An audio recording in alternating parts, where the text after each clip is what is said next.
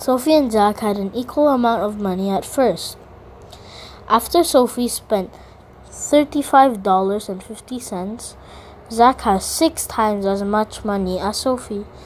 How much money did Sophie have at first?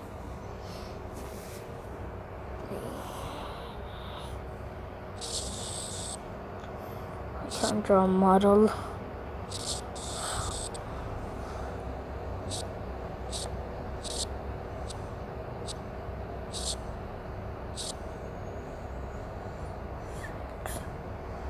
This is six.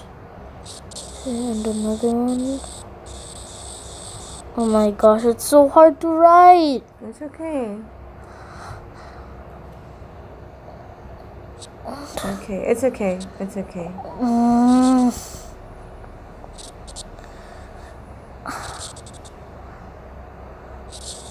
Why can't I just use Zach,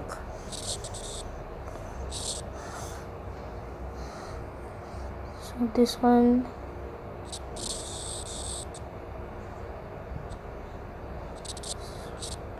why are you putting the a bracket?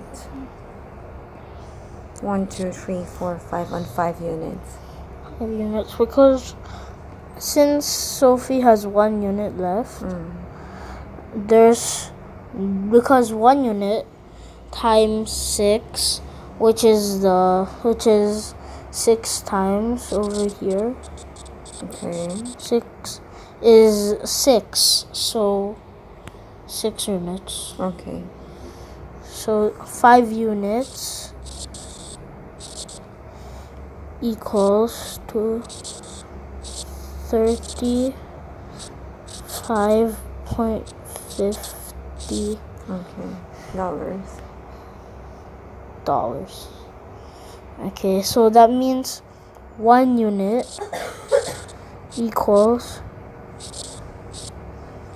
thirty-five point fifty Divided by. divide by five Okay. because since it's five units to get one unit is divide by 5 mm-hmm. which is Okay, Google. Thirty-five point fifty divided by five. The answer is 7.1. Seven point one.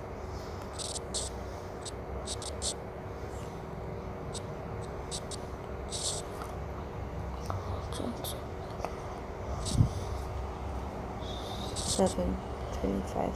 so that's 35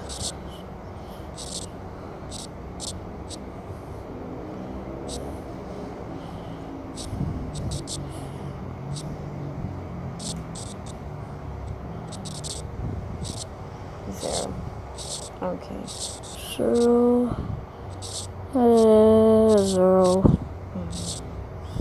just X. zero Okay. okay this, this is ugly right It's alright. okay, so you know the answer now. 35.15, which is the five units that Sophia or the Sophie spent. Okay. So to find the amount per unit, thirty-five point fifty divided by five.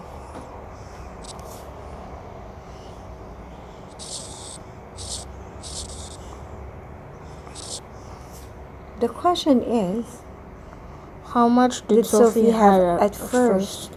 At first, Oh, wait no right? yeah at first i totally forgot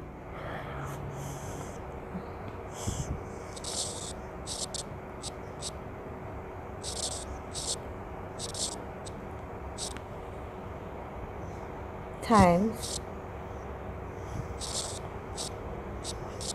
thirty-five point fifty. which is um so this Mental. 7.1 Thirty-five plus seven.